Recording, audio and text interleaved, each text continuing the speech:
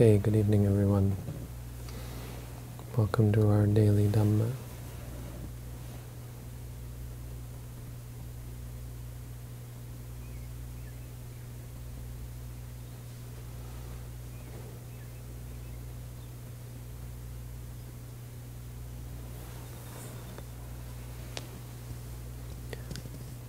When we try to de define or explain Buddhism.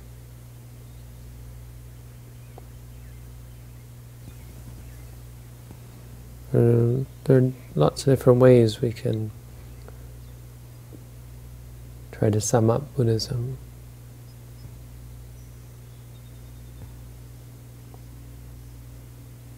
We could say that Buddhism is all about suffering. That's a common one, right?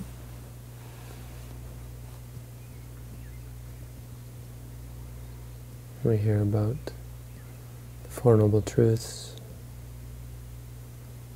We think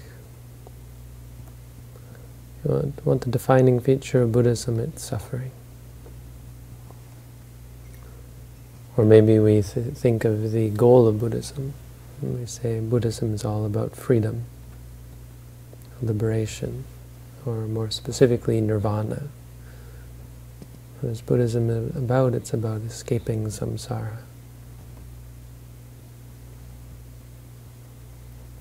Or we might look at the quality of Buddhism and see how Buddhism is different from faith-based religions and say Buddhism is all about wisdom or understanding or insight.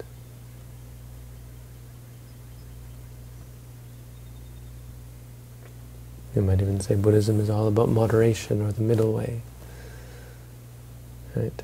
People who think of the first teaching of the Buddha where he taught what he called the middle way and they think, well that's the, the essence of Buddhism.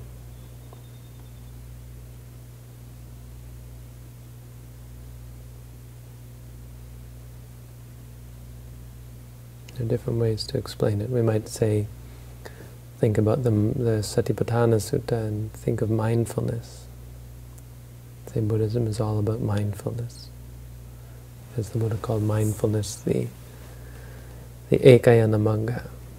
And he devoted a lot of his attention to, a lot of his time to, to teaching the four Satipatthana, the four foundations of mindfulness.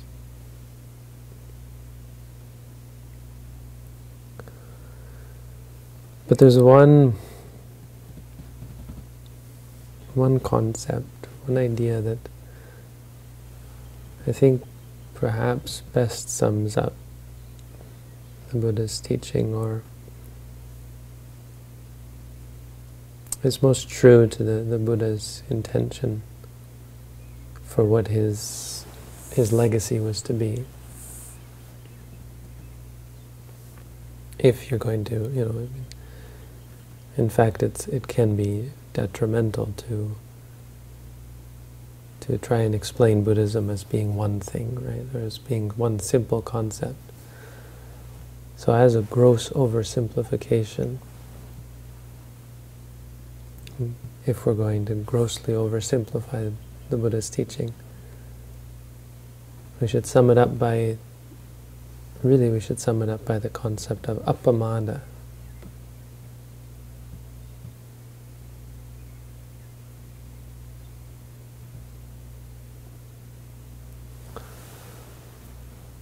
simply because this is this is how the Buddha would have it, it seems, would have it summed up.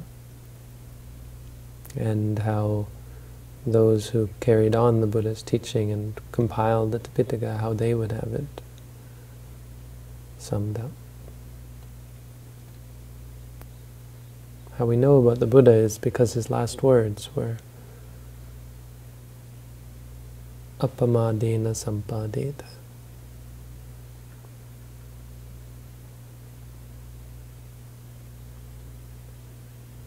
That everything everything that arises ceases, all formations are subject to cessation. It means anything that we build up will fall down, anything we cling to will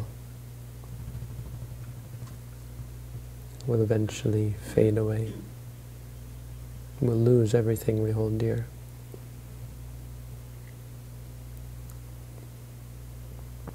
And so we should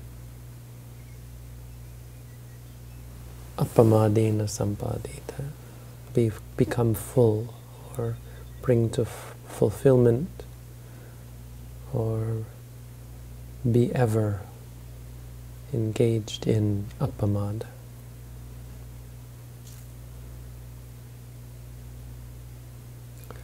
We have in the Dhammapada, we have verses like Appamado amatta padang pamado machuno padang ye pamatta appamatto nami appamatta namiyanti ye pamatta yathamata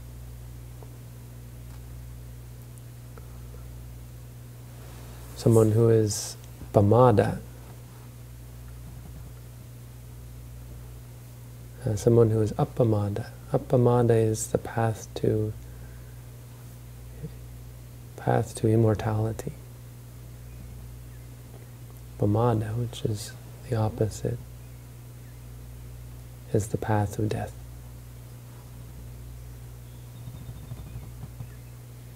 Those who are appamada never die. Those who are pamada are as though already dead.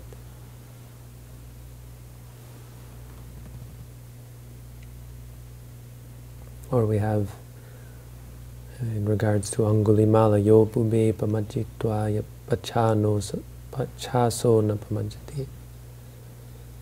Somang lokang pabhaseti chando mutova abhomutova chandima sorry, mangled that one, uh, who in the past was pamada, but in the present becomes apamada. They illuminate like Angulimala. Angulimala used to be pamada, and now he's, once he met the Buddha, he became apamada. They light up the earth, they light up the world, like the moon coming out from behind a cloud It's our mind or our being is, is capable of so much brightness, so much greatness. But when we're pamada, it's shrouded, it's covered, it's obscured.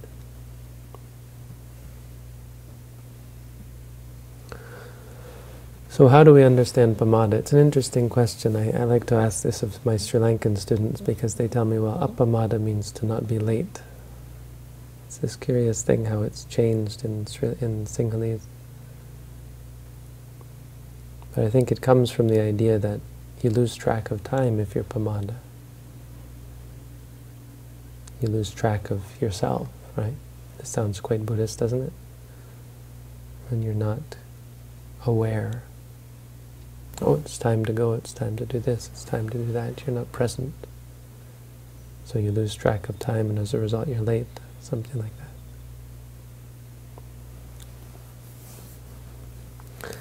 But no, the best way, the easiest way to understand pamada and appamada, pamada being the bad one, appamada being the good one, is when we look at how the Buddha discussed um, intoxicants, alcohol. The fifth precept, sura merya majja pamada tana. alcohol, liquor and booze, liquor and beer.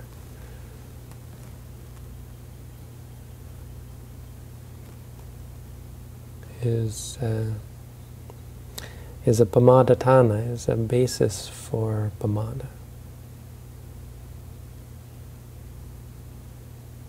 So the ordinary way of understanding pamada is that it, it's intoxicating, in, intoxication when we're drunk.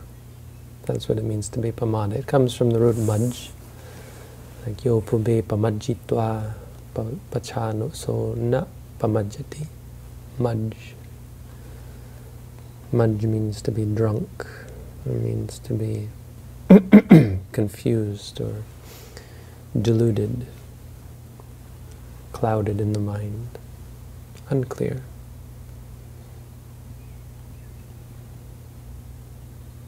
But just turns it into something a little more special, a little more um, extreme.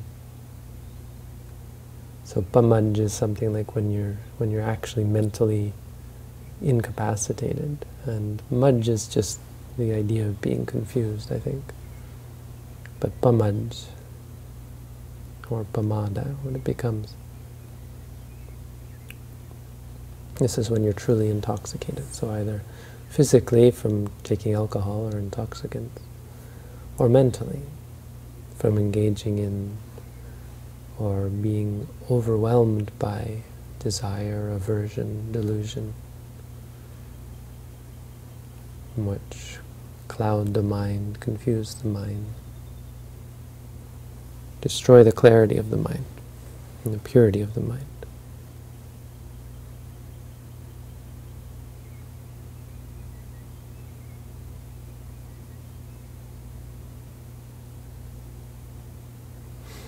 Of course, appamada has everything to do with, with sati, with mindfulness. And the Buddha said, Satya vipavaso appamato ti ujjati. To never be without sati, this is what it means to be appamada. So we understand pretty clearly. I mean, it's not like this is a hard to understand or a poorly understood concept eh, for those who have studied it. It's not like the texts are, are unclear. But it's important that we understand exactly what, this is an important concept to understand. Clarity of mind is what we're talking. So appamada means not not being clouded, not being confused, not being intoxicated, really. The idea is that the defilements of the mind intoxicate us. They take away our clarity. They keep us from seeing clearly. So our practice in meditation, really, this is what it's all about. We can talk about mindfulness. This is a good thing to talk about. We can talk about wisdom or insight. These are good aspects of it, but the real active component is cultivating clarity of mind. We use mindfulness to do that. When you remind yourself, seeing, seeing, pain, pain, thinking, thinking, or whatever. You're actively cultivating clarity of mind. You're trying to remind yourself, hey, this is what's happening. This is what, this is what's present. This is reality. Bringing your mind back, dragging your mind out of the clouds, back down to the mundane, objective reality of our experience what we're seeing, what we're hearing in every moment, see, smelling, tasting, feeling, thinking, the body, the mind.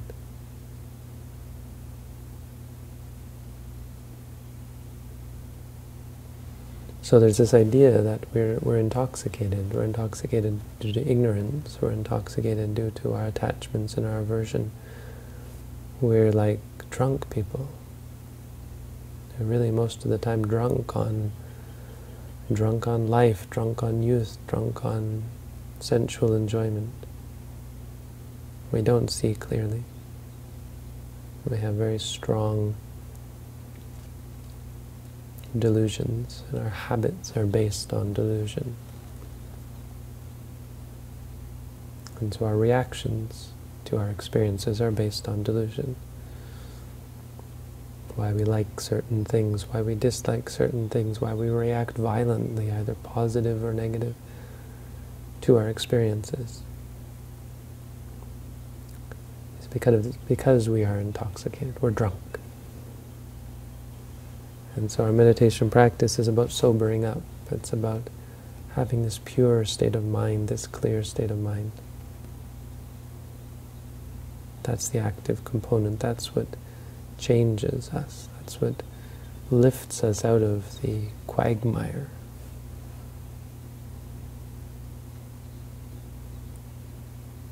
Lifts us out of the morass of delusion that we're caught in.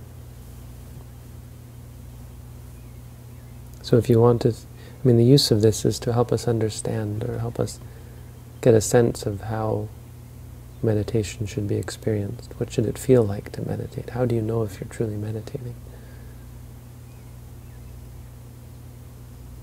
And it's the difference between following your delusions and seeing them clearly. Once you start to see your, your desires, your aversion, your confusion, your delusion, your doubt, your worry, your stress, once you start to see it clearly, and you start to be present, it's like waking up. You feel like you lived your life asleep, and you're only just waking up. It's like you lived your life drunk, and you've only just sobered up. And that's really, I mean, again, there are many ways and many important aspects of the Buddha's teaching, but the last words of the Buddha, what the commentary says is the whole of the Tipitaka, all these thousands of teachings of the Buddha, when you sum it up, it's the path or the, the way and the means to become appamada, to become sober, unintoxicated. And so along with all the other aspects of the teaching, this is what um, this is what we what we see as the essence of Buddhism, because it leads to all of the good things. And it's the use of mindfulness to create clarity of mind, which brings about morality, concentration, and wisdom, and understanding, and freedom, and release liberation from suffering.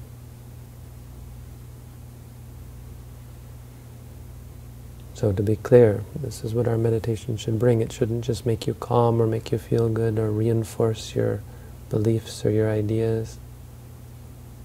Meditation should help you, should make this shift where you start to see things clearly. You start to understand yourself and, and see what you've overlooked start to see what's in front of you and see the nature of your own mind and the nature of the world around you, of its impermanent suffering and non-self. And you begin to let go. You begin to give up all these bad habits that are like, it's like darkness, and in darkness grow many unpleasant things, mushrooms, bacteria, mold. But when you shine the light on, when, when the sun shines down, it all dries up and cleans up and becomes purified. Purified by the light, all these bad habits, all these unwholesome qualities of mind are dried up through the power of mindfulness, through the power of clarity. So something for us all to remember, think about, and to keep in mind when we practice, that our goal is clarity of mind. So there you go. That's the Dhamma for tonight. Thank you all for tuning in. I wish you all the best.